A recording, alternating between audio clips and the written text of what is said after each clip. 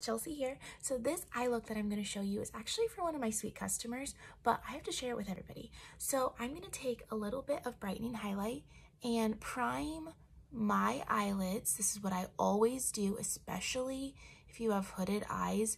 Do not skip this step. And let's look at the colors I'm going to use. I'm going to use Basic, which is a beautiful matte brown, Coco, which is a dark matte brown, Drift, which is a creamy shimmer, and Riviera, which is a brown neutral shimmer. Take the fluffy end of the eyeshadow brush, take basic, and basic is going to be our transition shade. And you're going to sweep it all the way from lash line to brow bone. Go into coco, tap off the excess, and you're going to draw like a greater than less than sign on the outer portion of your eye. You can tap into it a little bit more and then just start blending towards your nose. The smaller end of the brush, to put a lower liner on.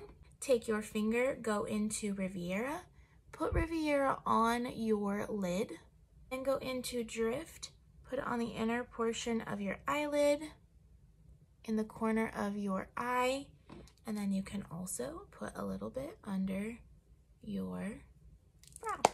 Text me for the link, this word.